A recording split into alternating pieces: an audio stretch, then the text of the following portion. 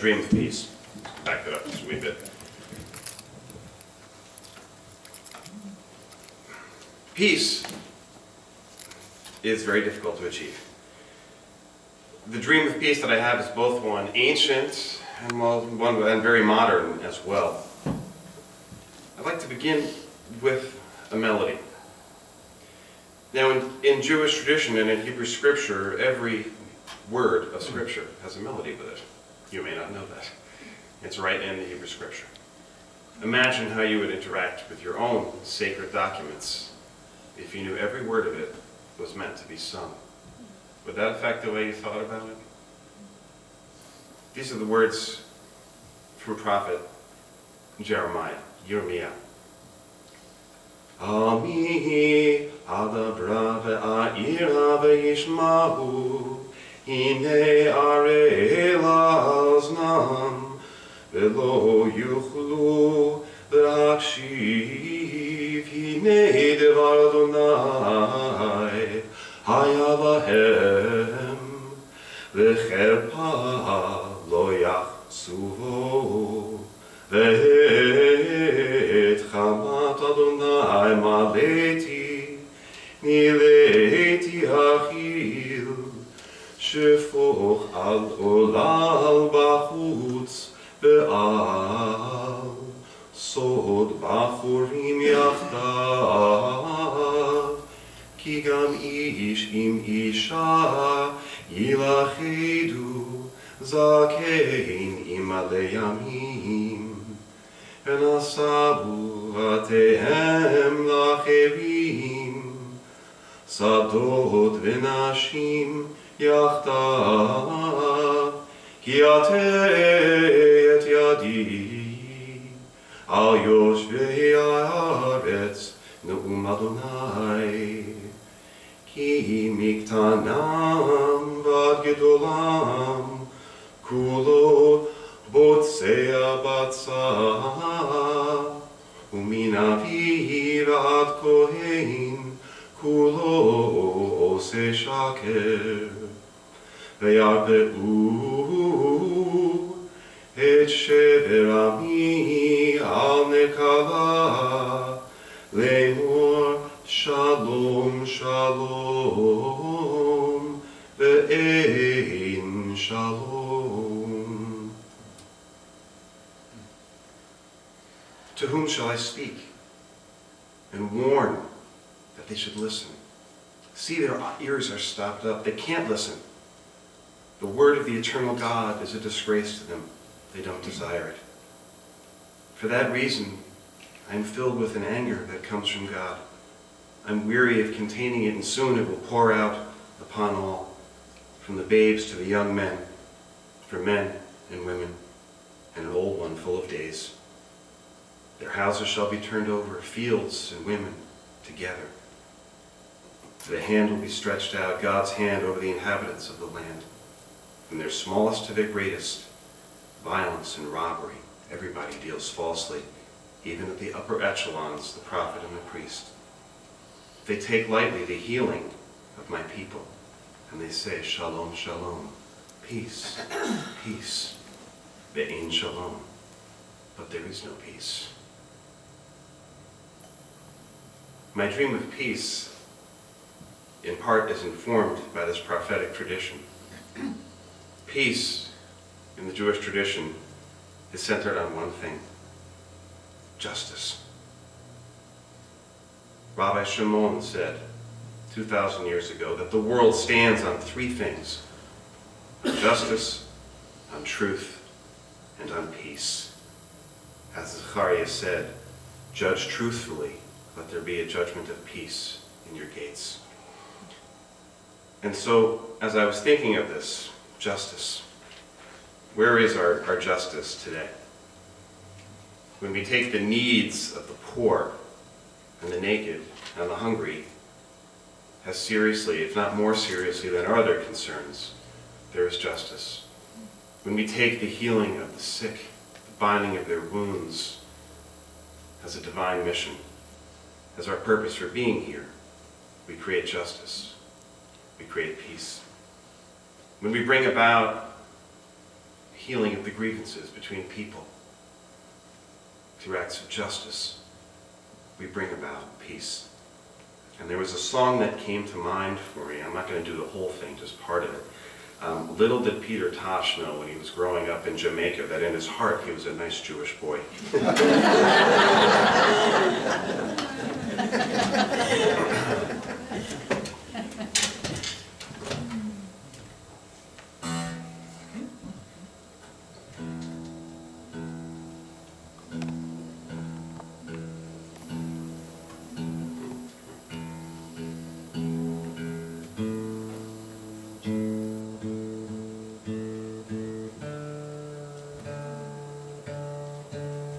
That's not the song.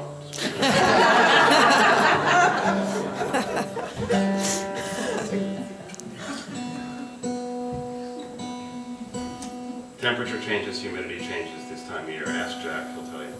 Right? I, I don't bother with it anymore. You know about that? It's all good.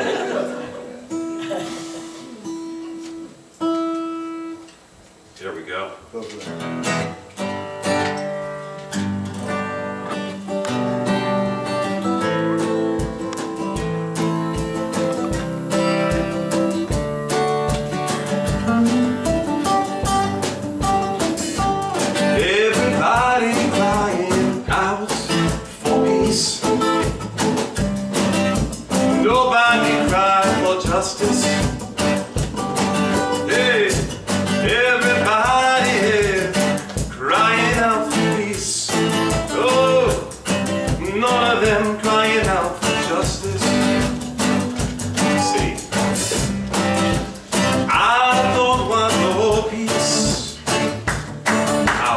I want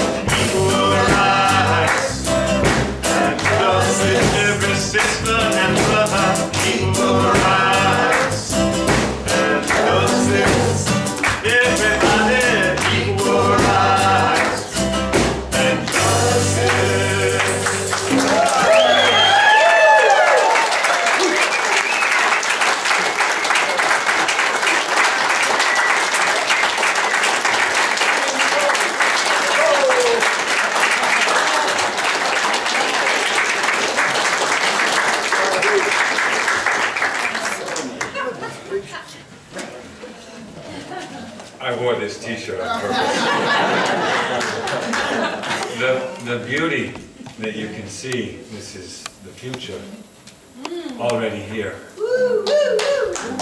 And You know, my name is Wayne Tooker, and I represent those who are dedicated to or have faith in or believe in or have been born again from unconditional love. And I had an experience 37 years ago where that happened to me, and I've been waiting for this day. And when I came here to this church two and a half years ago, and I saw old rockin', rockin', rapping Reverend Steve Cardicorgi, and he said, it's better than we thought. I said, that guy knows.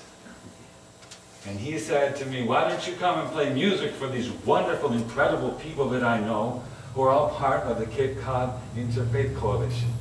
And I said, yeah. And, and I said, what are we going to talk about? He said, peace begins with me. And I said, but so does war. So does confusion, so does hate. Mean, should- shouldn't we get beyond peace? Beyond, and so my, my Rev, who he told me he had a t-shirt like mine that has Bob Marley on one side and a lion on the other side, and the dreadlocks come together in the middle, right? Yes, indeed. Rabbi Dave, so this is a very special moment. And uh, he started right off with those words that were like the ones I said to Reverend Steve that day, but peace is boring, Rev. Let's do life. I think we came here to be joyful, to be together and to be happy, to be able to say, I don't worry about that anymore. And just be, and know that you're already equal. So, for me, that was uh, a dream come true. And it still is, and we're here together and we're doing this. So my vision of peace is a little bit beyond peace. And it's a little bit beyond equality. Because you're already equal if you knew that. It's a little bit beyond life and liberty. You've got life and you've got freedom if you're allowing yourself to be yourself. It's that third one of the inalienable rights, the pursuit of happiness, which is the one that concerns unconditional love. It wants everyone to be happy. And each one is responsible for that by allowing themselves to die and go to heaven. Right here before you die. If you allow yourselves to let go of your pretenses and your whatever else it is. Hi, na, ya,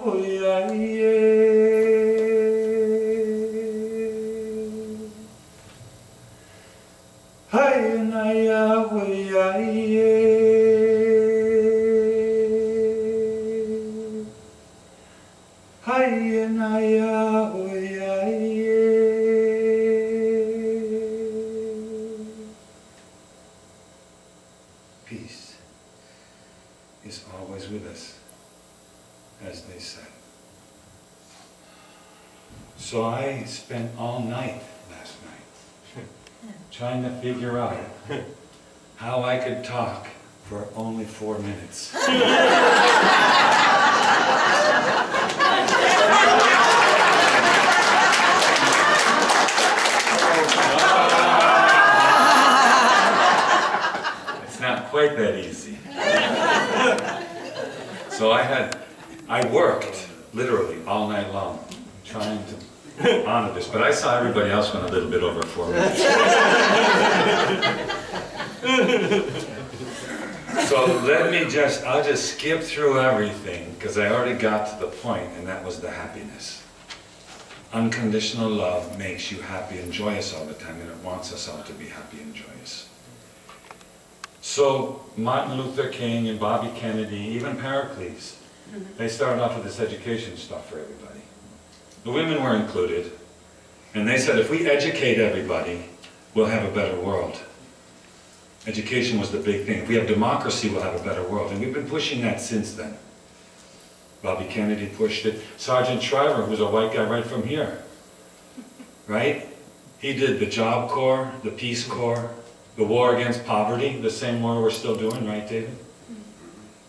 I mean, we've been, we've been on this wave for a long time, but I feel like it's cresting.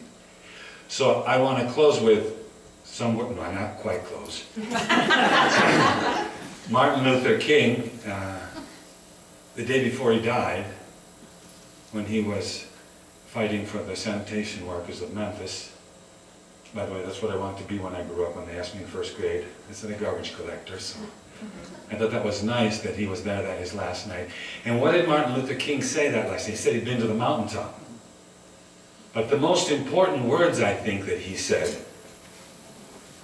I want you to know tonight that we as a people will get to the promised land. So I'm happy tonight. Martin Luther King was happy. And he said, I'm not worried about anything. Tuning a guitar, nothing. I'm not fearing any man. Mine eyes have seen the glory of the coming of the Lord. Hallelujah.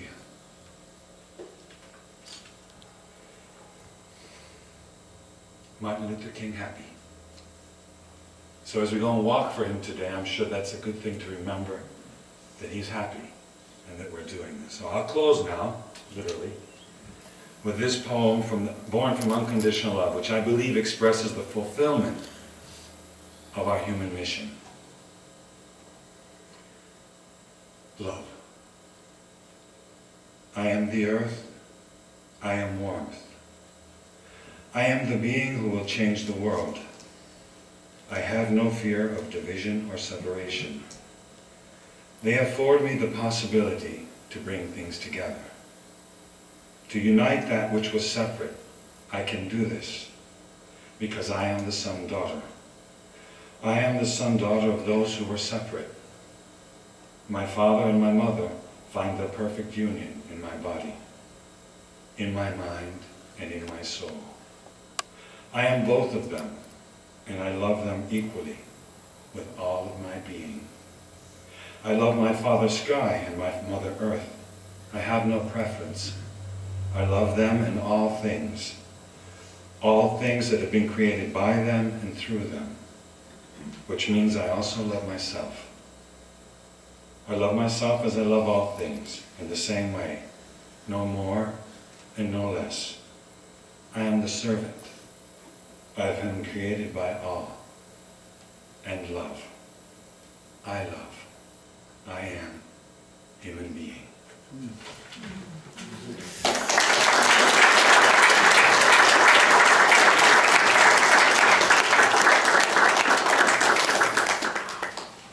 I have a dream of peace.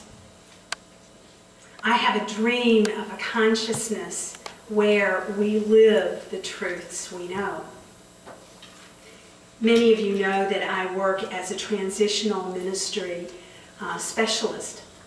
And that's because where better do we want to know how to truly live the principles that our teachers and our way showers and our inspired masters have lived and engaged with us than when those who have been there as our teachers and our leaders have departed from us.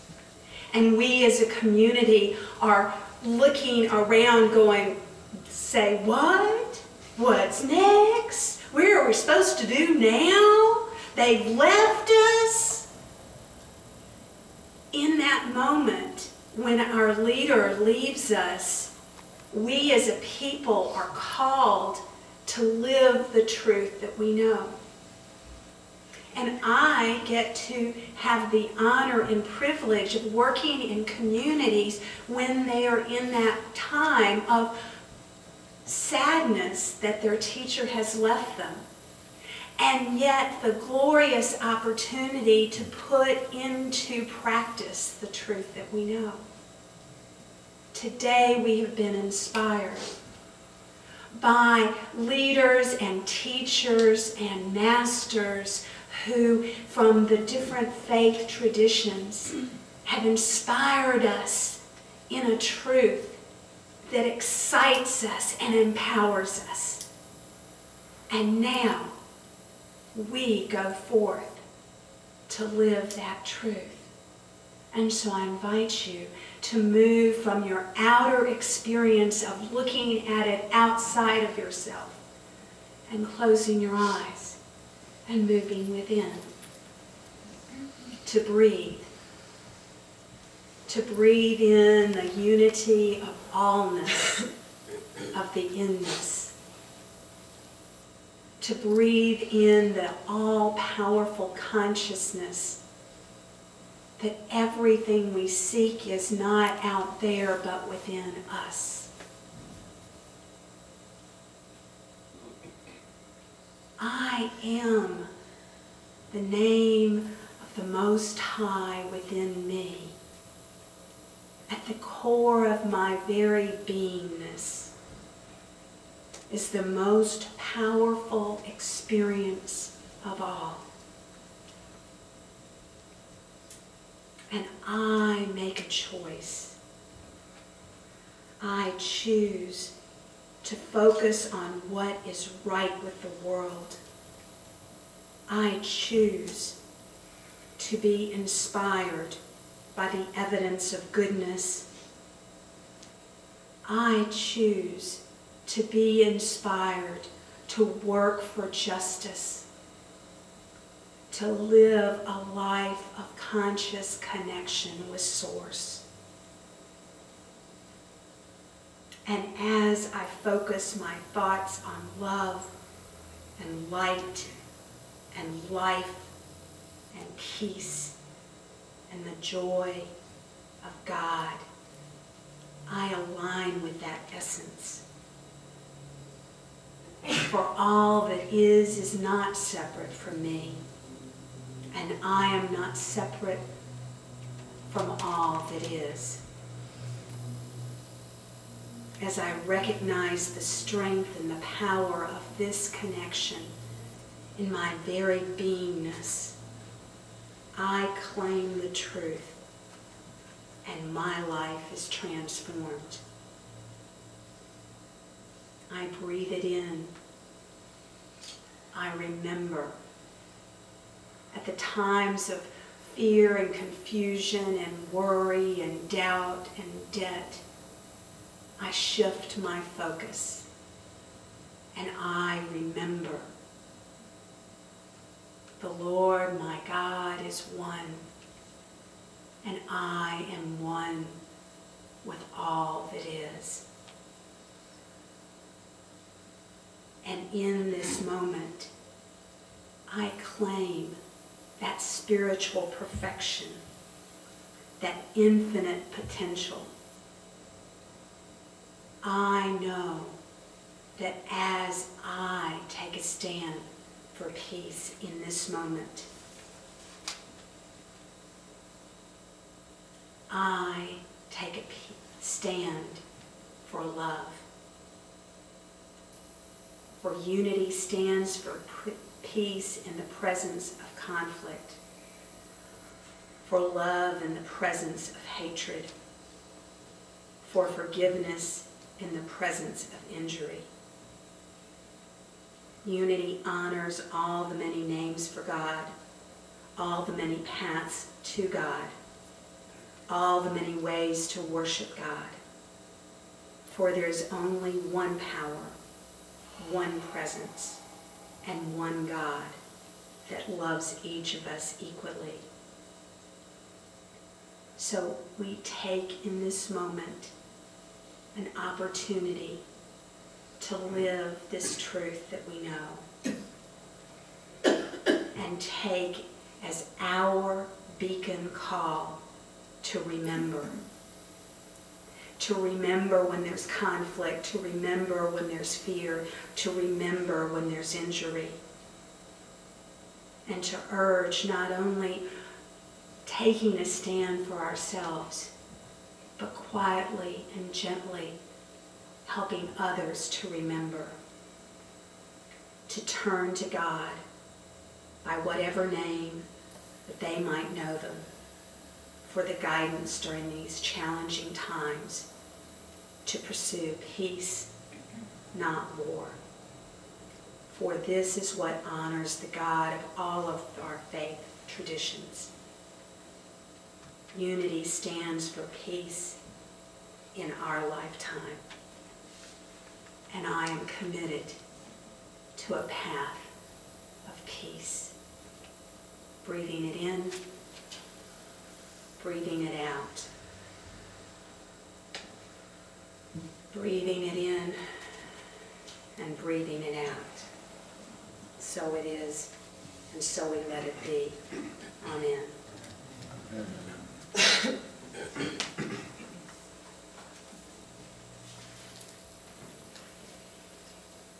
In this moment, we celebrate and we acknowledge that everything is right where it needs to be, and whatever it is that I'm looking for,